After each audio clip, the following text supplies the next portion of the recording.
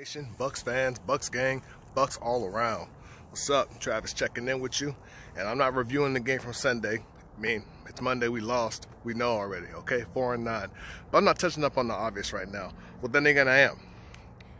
So, as of recent news, apparently Dirk Koetter and Jameis Winston are not seeing eye to eye right now.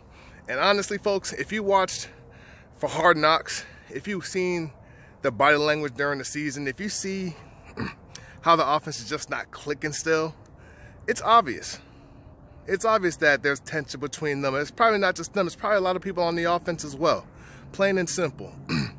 if you look back to when Lovie Smith was our head coach and Dirk Koetter was our offensive coordinator in his first year, there is an article that blatantly says Dirk Koetter did not want to draft Jameis Winston for his offense. He wanted to draft Marcus Mariota. Now, granted, Marcus Mariota has been putting up numbers too, but if you look at the games played, Marcus Mariota is very fragile. He's hurt again for the second time in the season. Jameis Winston has already has only been hurt for the first time in this season, to where he's missed some time. So I think we made a better choice at quarterback when it comes to um, durability and actually the ability to play. Um, Dirk Koetter is calling a very, very vanilla offense. Again, look back to when Dirk Koetter was the offensive coordinator to where he's now as a head coach. We had a lot we had a lot of aggressive plays, on the run passing plays. So of course, after going 9 to 7 his first year, we were expected to be a very explosive and very dominant offense. But after watching Hard Knocks and seeing Dirk Koetter on the sideline and seeing his play calling execution, he is obviously trying to play too safe and he's holding this offense down to a very vanilla level. We have too many playmakers and too many guys to be playing this bad on offense. We should be having numbers up. We should not be waiting until the fourth quarter to open up the playbook, which has obviously been happening these last few games. It's ridiculous. It's awful. And obviously, this is going to be Dirk Koetter's last year. I don't see him staying another year. Will I be mad if he does stay?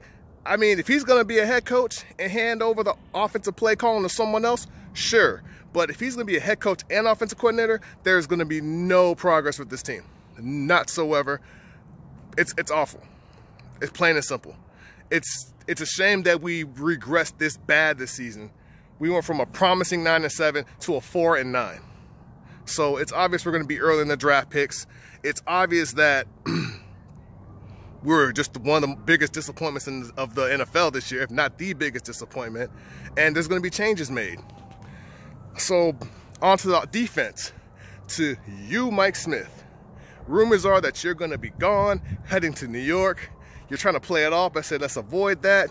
And after what Florida State just went through with Jimbo, I know you're trying to be cool. You're trying to be playing it safe. I'm sorry, the Florida State reference was unnecessary, but it's just a great example of how coaches like to be um, nonchalant about the topic. They like to avoid the topic.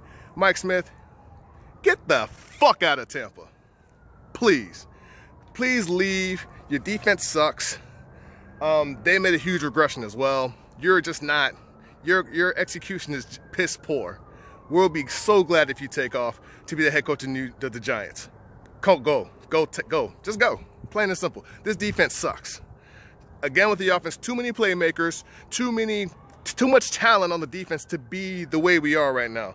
We, the fact that you say sacks are overrated, you know better than that. Mike Smith, you know better than that. Let's be for real. We all know sacks and creating pressure on the quarterback disrupts offenses. Plain and simple but you want to rely on coverage schemes, trying to confuse the, the quarterback, and it's just not working, man. It's just not working. We have all the talent on defense to be better. And with your scheme and how you call things and your rotations of all this talent that came, it's not working, bro. So you can go to New York. You can take that shit to New York because we don't need it down here. Plain and simple. Um, shout out to Isaiah for holding it down. I'm still here, still still around. Bucks game, we're gonna make changes for the better because this year is just just shows what's going on in that office. I mean, I, I believe we should still keep Jason Licht because he's still bringing in the talent.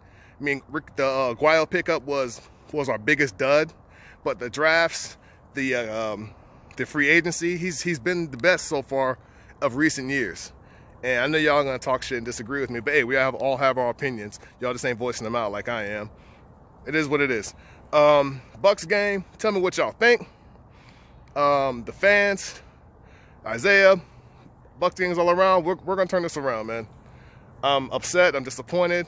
But we just gotta finish the season strong. But we gotta stand by our Bucks, man. We're diehards, right? Right? So let's stand by our team and stand together instead of fighting each other. All right, signing out, Travis Johnson.